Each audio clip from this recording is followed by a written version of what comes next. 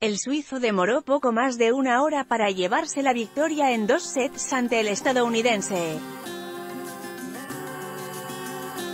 Un arrollador triunfo logró el suizo Roger Federer 4 grados del ranking ATP este domingo en la final del Masters 1000 de Miami, tras vencer cómodamente en dos sets al estadounidense John Isner 7 grados, logrando así el título número 101 de su carrera. La victoria para el helvético se dio tras una hora y dos minutos de partido, con parciales de 6 a 1 y 6 a 4. En la primera manga el norteamericano pecó de bastantes imprecisiones que fueron aprovechadas a cabalidad por su rival, quien además logró dos quiebres para ganar el set. Durante el transcurso del segundo parcial Isner asomó una reacción, pero los problemas físicos terminaron mermando su juego y propiciaron la victoria definitiva para el europeo. Con la victoria final, Federer consiguió su cuarto título en Miami tras haberse quedado con las ediciones de 2005, 2006 y 2017, y es el vigésimo octavo trofeo en la categoría Masters 1000 en su trayectoria como profesional